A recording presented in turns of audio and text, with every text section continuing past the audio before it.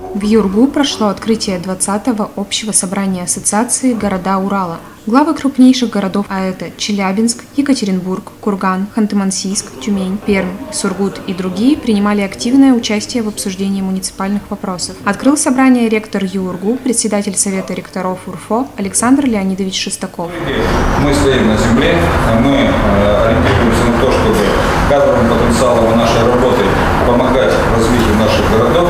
И я желаю успехов в обсуждении этих вопросов сегодня в стенах нашего университета. Центральной темой обсуждения стал всероссийский конкурс проектов агломераций. 17 регионов страны предлагали свои проекты по объединению близлежащих населенных пунктов. Челябинск стал лидером в этом состязании. Проект Челябинской агломерации утвержден в качестве пилотного. То, что нам удалось попасть в число пилотников, это, конечно, результат совместной работы. Кроме того, самые интересные инвестиционные проекты, которые будут рассматриваться в рамках агломерации, будут курироваться на уровне Министерства регионального развития Российской Федерации. Также председатели собрания обсуждали вопросы развития муниципальных образований и подводили итоги деятельности ассоциации. Главным вопросом встречи стала реформа самоуправления и ее основные этапы.